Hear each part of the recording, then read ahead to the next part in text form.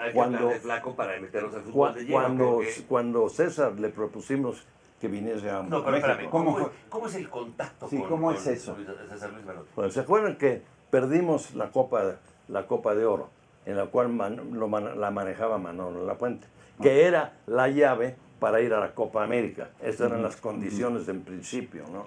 ¿No? Entonces se perdió, nos fuimos en tercer lugar. O renuncia Manolo, porque él renunció, Manolo Lapuente, un genio del fútbol también, ¿no? Y nos quedamos sin entrenador.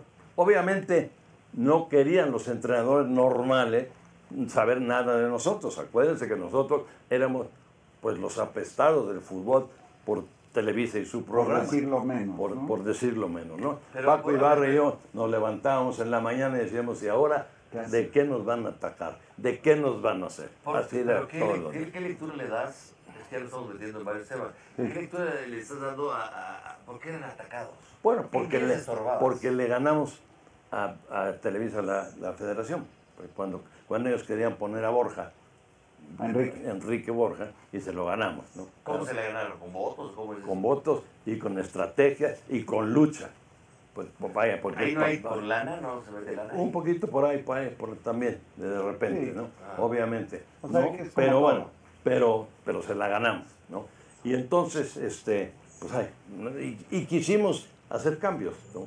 Hacer cambios como, pues, como los que hicimos, que ya sean muy, muy Pero cambios a favor del fútbol. Ah, siempre, a fútbol, fútbol. La verdad, sí. Éramos Paco Ibarra y tu servidor. Queríamos que se cambiaran las cosas de fútbol. Como dijo Benotti cuando platicamos con él, dice, vamos a tratar de que el fútbol mexicano sea respetado en el mundo.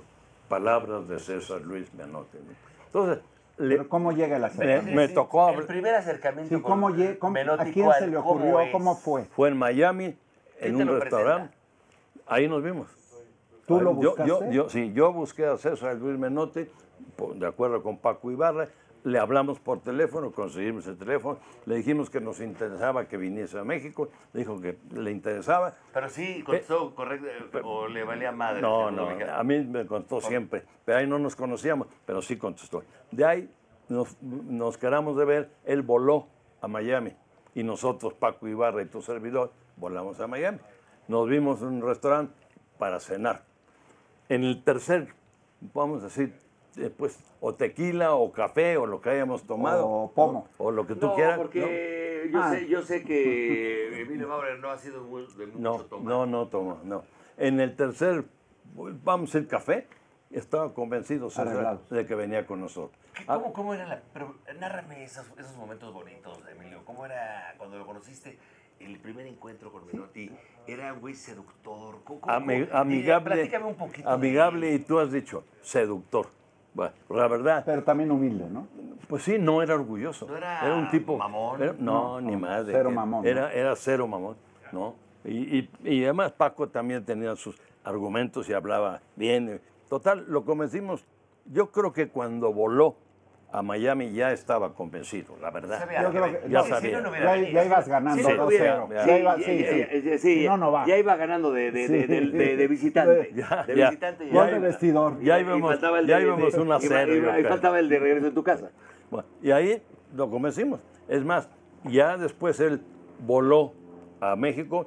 Cuando voló a México no tenía contrato firmado todavía. Ya, este- ya estábamos arreglados. No me preguntes cuánto porque De no palabra. me acuerdo. No, pero de ya estábamos arreglados. arreglado. La lana, Pero tampoco- la lana no nos interesa. No, pero a te digo una cosa, tampoco vayas a creer que cobró desproporcionadamente a lo que se pagaba. No como en el Tata. Martino. No, no, ni lo que no hagas esa comparación tan odiosa, No, estás por hablando favor. de, de- de- de- estás hablando de Dios y estás hablando Sí, de, sí. de, de- Pero de- qué diablo de Zúñiga, así, ¿no? cabrón. Así fue. No tiene nada que ver. voló. Con, Zúñiga. con el don Dios, que era Luis Menotti, con el Tata Martino. Sí, sí.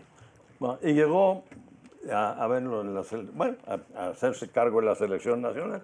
Y yo creo que a los que primero los sedució fue a los jugadores.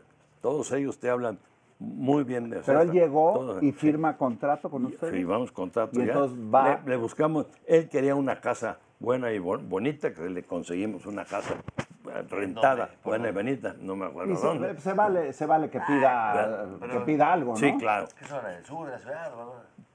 La verdad no me acuerdo. Pero bonita la casa. bonita casa con su jardín bien, a toda la madre. ¿no?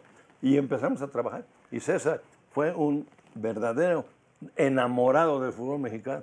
Él dijo que el futbolista... ¿Sabía del fútbol mexicano? Sí, por supuesto. Y además, te digo una cosa, él siempre dijo que el futbolista mexicano tenía unas cualidades enormes, Nada más le faltaba un que, le- que tenía que creer en sí mismo. Eso nos dijo Almada. Sí, que Eso no- nos no dijo lo- Almada. el- el fútbol Te tienes que creer no en ti mismo. Te lo tienes que creer, ¿Qué? Emilio. Pues eso es lo que... ¿Te Eso acuerdas que en ese Pero no hablamos del entonces... futbolista, Emilio. En cualquier rubro, Sí. el mexicano se la tiene que creer. ¿Te acuerdas que en ese entonces se manejaba en la selección, decían los ratoncitos verdes? Verdes. Odiosamente ¿Sabes esa es? palabra, ¿no? Es horrible. Bueno, horrible. Bueno, pues él dijo, el futbolista mexicano tiene todas las cualidades, tiene fuerza, tiene velocidad, tiene que creer en sí mismo. Y además otra cosa que dijo, y no, no hay especialistas, o sea, el, el defensa central es defensa central, el lateral es defen- el lateral. El único especialista en la selección, cuando él la tomó, era España, Miguel España. Dice, Miguel ese España, era la contención. contención. ¿Lo admiraba? ¿Verdad? ¿Lo admiraba? Pero- ¿Y Sí, por- él dice, él es el único especialista Él es el- mi eje. en, en- en- en- en este, ¿cómo se llama? En el, el selección. equipo. Y ahí, ahí empezó. ¿no? Obviamente, ya después, con el pasar del tiempo, en- en- nos concentramos en el centro de capacitación. Quería Enfrente del Estadio Azteca. ¿sí? cambios, por supuesto. ¿no? Eh, la cocina era importante. No, bueno. Perdón que te interrumpa. es que ese lugar Pero cuando tú traes a Menotti, Espérate, pensé que se había metido a saltar a tu casa. Dije, no mames. cuando, cuando tú aquí. traes a Menotti, ¿cómo te... O sea, los demás dueños, ¿cómo lo vieron? Los dueños, Hubo- el hubo fútbol envidia, mexicano. Porque me, que- me he dado cuenta al día de hoy que. O no les gustó que porque lo que- trajiste tú y no lo traje que yo. el fútbol. Yo no sé dónde está peor la, el pedo, si en el fútbol o en la política, ¿eh? Bueno, Pero. Las ¿fuiste envidia. aceptado o les dio O- les dio envidia. No, fíjate no- que... Y no Juanito Pérez. No, fíjate que fue, fue bienvenido. Fue una de las cosas que, que, que dijeron, pues, porque era campeón del mundo, pues no tenía, No, claro, no tenía, claro. no tenía cuestión, no era cuestionable, ¿no?